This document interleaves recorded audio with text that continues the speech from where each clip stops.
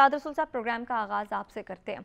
एक के बाद एक, ज़ाहिर है आप भी देख रहे हैं, हम भी देख रहे हैं, तहरीक इंसाफ के रहनुमा जो हैं वो साथ छोड़ते जा रहे हैं, जिसके बाद एक सवाल जो गर्दिश कर रहा है सबके जहनों में कि बहुत से सियासतदानों ने पहले भी जेलें काटी हैं। मुश्किल वक्त देखा है। ऐसा कौन सा मुश्किल वक्त आन पड़ा तहरीक इंसाफ के रहनुमाओं पर कि आप इधर जेल जाते, दूसरे दिन बाहर आकर प्रेस कॉन्फ्रेंस करते और कहते कि हमने पार्टी का साथ छोड़ दिया और सियासत भी छोड़ दी?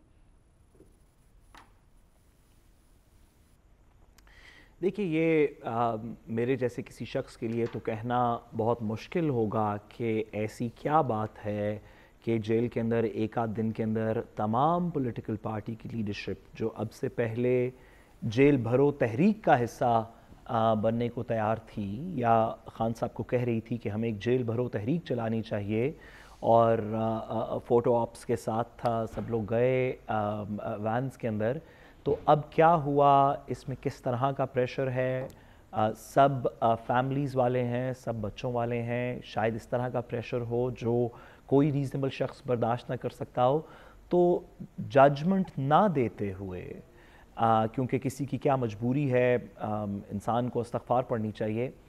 आ, ये कह ये कंक्लूड कर लेते हैं कि ख्वाब वो प्रेशर ज़्यादा था या लोग कमज़ोर थे। दोनों में से जो भी हुआ अब इन्होंने पार्टी को और सियासत को खैर बात कह दिया। लेकिन जो इससे अगला सवाल है वो उतना ही ज़रूरी है।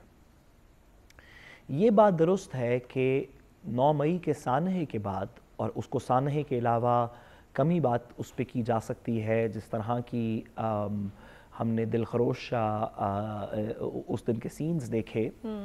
हम्म। और आई एम श्योर के लोगों को कैफरे किरदार तक पहुँचाया जाएगा जो भी उसमें मुलविस हैं एक इंडिपेंडेंट इंक्वायरी के साथ बट नौ मई के बाद इमरान खान साहब की पॉपुलैरिटी में डेंट तो ज़रूर पड़ा है बट hmm. मेरा ख्याल है कि जितना डेंट उनकी पॉलिटिकल पार्टी को पड़ा है उतना डेंट उनकी लोगों की पॉपुलैरिटी में नहीं पड़ा मैं इसकी एग्जांपल hmm. देता हूँ कि अगर इमरान खान साहब की लीडरशिप के अंदर से 80 फ़ीसद लोग चले गए हैं तो इसका ये मतलब नहीं कि इमरान खान साहब की 80 फ़ीसद पॉपुलैरिटी कम हो गई है। या अब उन्हें 80 फ़ीसद सीटें कम मिलेंगी। या अब 80 फ़ीसद ज़्यादा लोग उनसे मुतनफ़र हो चुके हैं। एक रियासत को इस बात को समझना चाहिए और मुनासिब हो कि अदील वड़ाइच साहब ख़ास तौर पे आ, क्योंकि उनकी बात बड़ी सीरियसली हर जगह सुनी जाती है। अगर इस तरह की एडवाइस दे सकें कि दुरुस्त है कि पॉलिटिकल फ्यूचर शायद एक तंजीमी पार्टी का आइडिया या इस तहरीक इंसाफ इस बैनर इस लीडरशिप के नीचे तो इस तरह कायम ना रहे लेकिन पाकिस्तान के अंदर फिर भी सत्तर पचहत्तर फ़ीसद ऐसे लोग हैं जो इस सिस्टम से मुतनफ़र हैं जो। इस सिस्टम के उन करते धरतों से मुनफ़र हैं जो फैमिलीज़ पिछले चालीस साल से पाकिस्तान के ऊपर बर्जमंद हैं हमारे स्टेक होल्डर्स में।